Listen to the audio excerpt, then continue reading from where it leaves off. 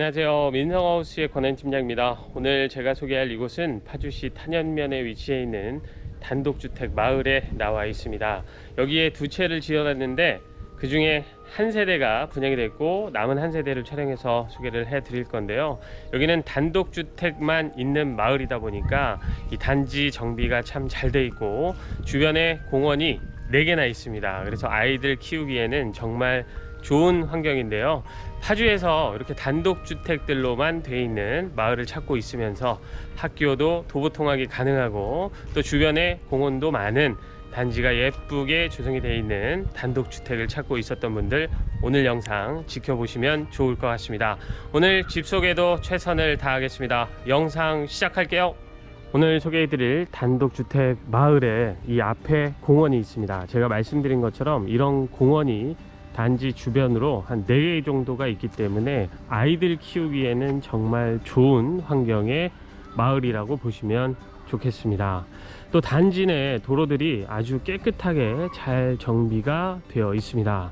어, 전기는 모두 지중화 작업이 되어 있기 때문에 가로등들만 있고 보시는 것처럼 전봇대 이런 것들은 없는 아주 깔끔한 마을로 되어 있고 이렇게 집들을 보면 예, 정말 멋있는 집이 많은 그런 단독주택 마을이더라고요. 그 중에 두 채를 지어놨는데 예, 한 채는 분양이 됐고 남은 한 세대를 지금부터 촬영해서 소개를 해드리겠습니다. 오늘 소개해드릴 단독주택은 이 앞에 있습니다. 전체 대지 면적은 51평이고 건축은 46평입니다. 철근 콘크리트로 만들었고 외장은 파벽 시공이 되어 있습니다. 아, 여기는 도시가스 난방이 가능하고요. 상하수도 기반시설도 잘 갖춰진 지역입니다. 두 개를 지어놨는데 저쪽 거는 지금 현재 살고 계시고 이 집이 남아 있으니까 이 집을 촬영해서 소개를 하겠습니다.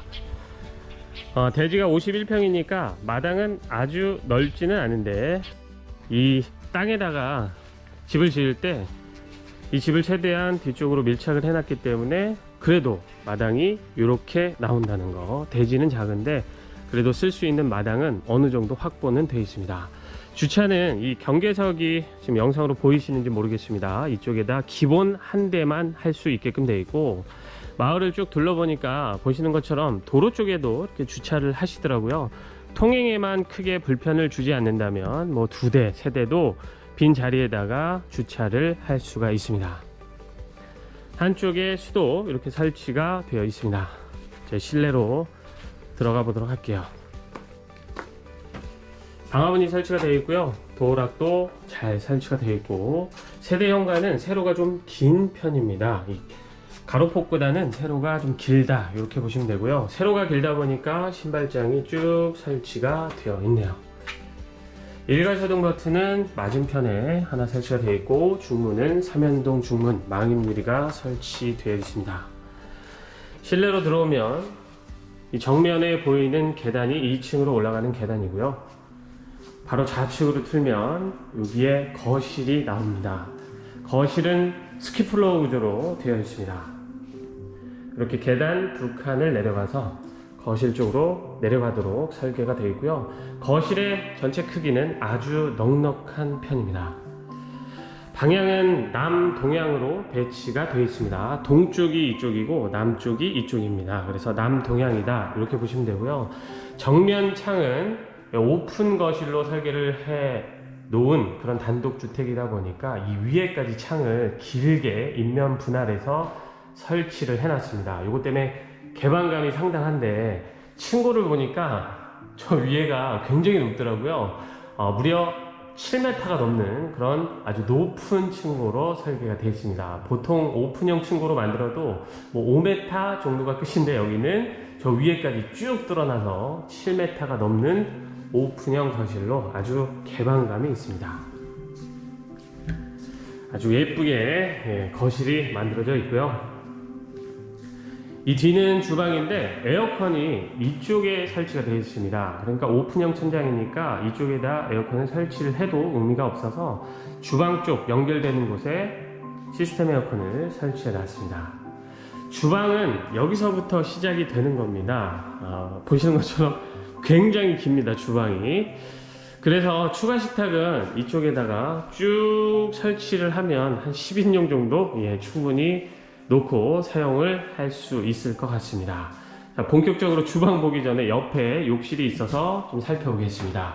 1층에 메인 욕실이라고 보시면 되는데요. 크기는 넉넉한 편인데 샤워 공간이 따로 분리는 되어 있지는 않습니다. 양변기, 세면대, 샤워기 이렇게 배치가 되어 있고 선반은 제작이 되어 있지 않고 위에 이렇게 수납장만 있고 거울 설치가 되어 있습니다. 코너 선반도 한쪽에 두 개 만들어져 있네요. 자 그리고 다시 주방을 좀 보겠습니다. 이 아일랜드 식탁 쪽에는 보조 쿡탑이 하나가 있습니다. 하이라이트 제품이 설치가 되어 있고 저 끝에는 전기 콘센트가 매립이 되어 있습니다. 무선 충전이 가능합니다. 이렇게 기역자 주방인데 상하부장을 다 채워놨습니다. 기본 수납이 가능하도록 해놨고 메인 cooktop은 3구 가스레인지 예, 레인지 후드는 이렇게 펼치는 방식으로 설치가 되어 있습니다. 주방이 이 가로폭은 그렇다 쳐도 이 세로폭이 굉장히 길다 보니까 이 주방도 개방감이 느껴집니다. 자, 이쪽에 1층 방이 하나가 있는데요. 1층 방 크기가 예, 제법 넉넉했습니다. 살짝 직사각형인데 이 세로폭이 좀 긴 그런 방이다 라고 보시면 좋을 것 같아요. 1층 방에는 따로 시스템 에어컨은 설치가 되어 있지는 않습니다. 그리고 이 방 안쪽에는 드레스룸 공간을 만들어 놨는데요. 이 드레스룸 공간도 작지는 않습니다. 이쪽에도 수납장을 채워놨고 여기는 기역자로 수납장을 또 채워놨습니다. 그래서 기본 이상의 수납이 가능한 드레스룸 공간이 1층 방에 있습니다. 모든 공간에 조절기 다 시공이 되어 있습니다. 그래서 이 단독주택도 개별 난방 관리가 가능합니다.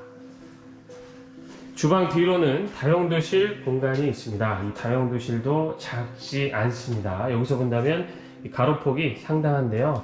양쪽으로 수납장을 다 채워놨습니다. 이렇게 수납장 하나 그리고 이쪽에 세탁기 자리가 만들어져 있습니다.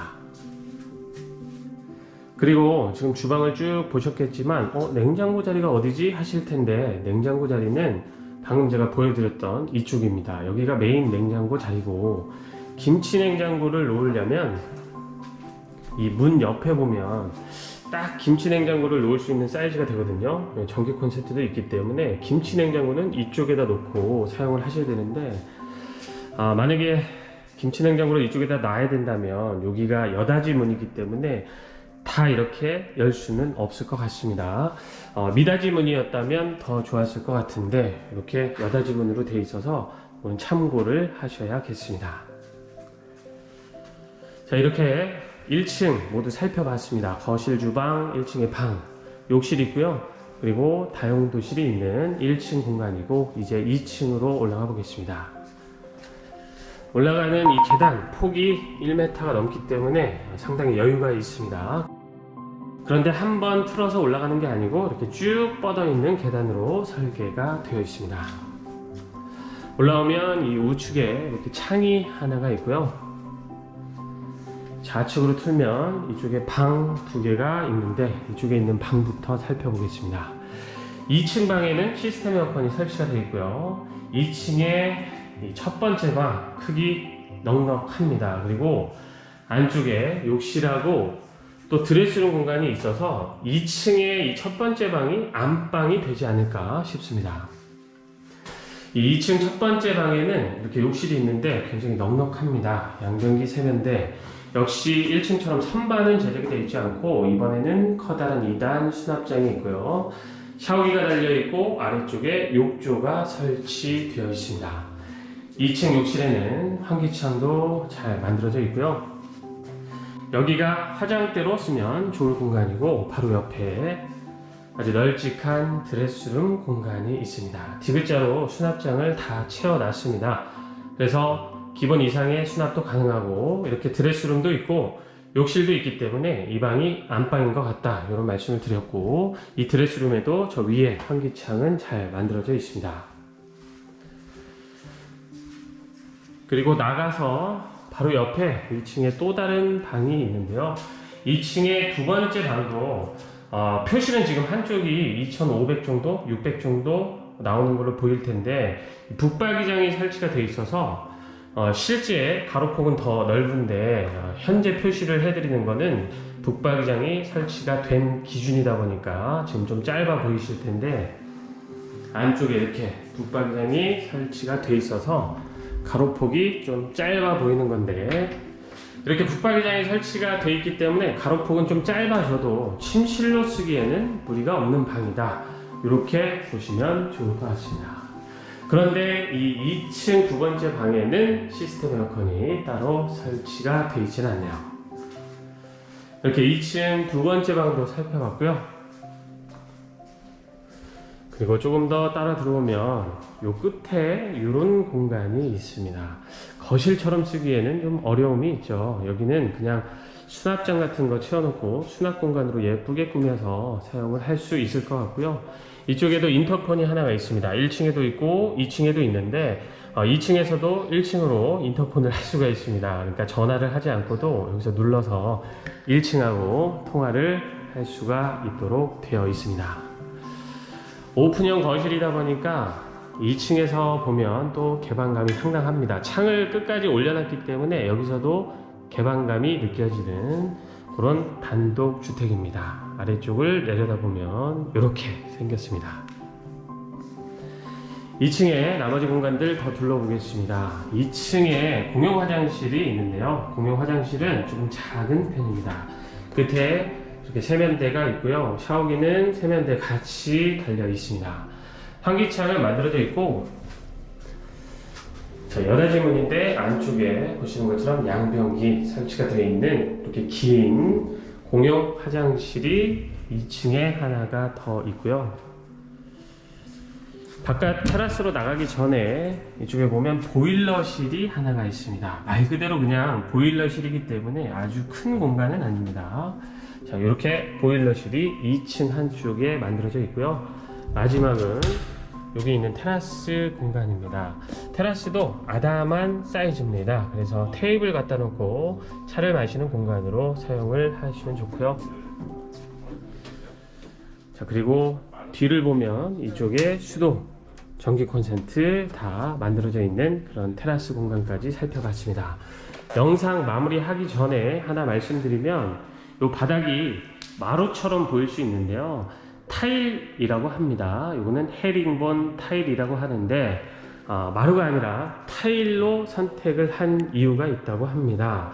어, 이게 마루로 설치를 하면 수축하고 팽창을 반복하면서 여기 틈이 좀 벌어질 수가 있는데 타일은 그렇지 않다고 합니다. 수축하고 팽창할 이유가 없기 때문에 만약에 나중에 AS 할 일이 있으면 요 한쪽 면만 떼서 부착만 하면 된다고 해서 이런 타일로 마감을 하셨다고 합니다. 저는 처음에 마루인 줄 알았는데 아, 이런 자재가 요새 많이 사용하진 않는데 아, 이런 자재를 선택해서 시공을 한 건 하자를 최대한 줄이기 위해서 이런 타일로 선택을 해서 마감을 했다고 합니다.